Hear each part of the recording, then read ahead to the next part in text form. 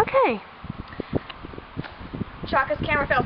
I used to um, know the words to Follow Me Up to Carlow, but one, I can't remember them anymore, and two, I'm not going to try to sing while playing the violin. I know it's possible because my band teacher makes us do it, but um, no, I'm not, I'm not going to.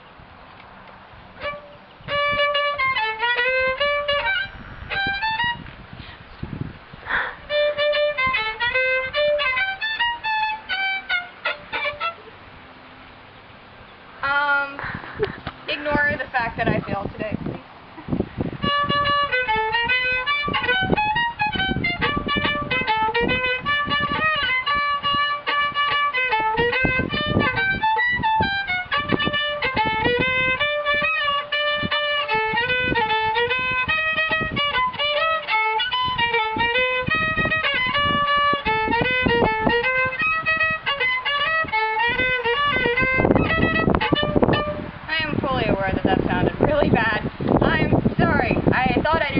Pirates. Apparently I don't. And just because I can, neither of those songs were slow, so I didn't have the chance to use a vibrato. But I learned how to do it this semester, and I was extremely proud of myself. And it's it makes this note sound prettier. That note sounded really disgusting because it was on the E string. I guess it doesn't help that I still can't do it properly. Did you learn that for Seussical? Yeah. I learned any useful technique for the violin during musical. I'm not even kidding. I learned vibrato during musical.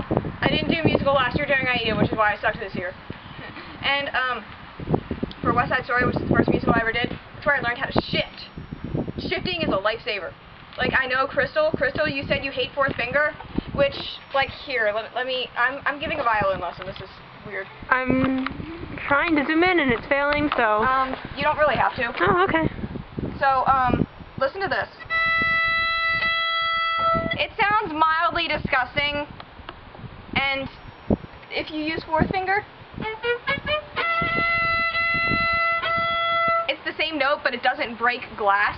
But, you know, the pinky is kind of like not a strong finger, so you shift up, and I always do it to my second finger, which means I shift to third position, out of sheer habit, because one, I don't like vibratoing with this finger, and it usually involves vibrato if I'm actually going to bother to shift.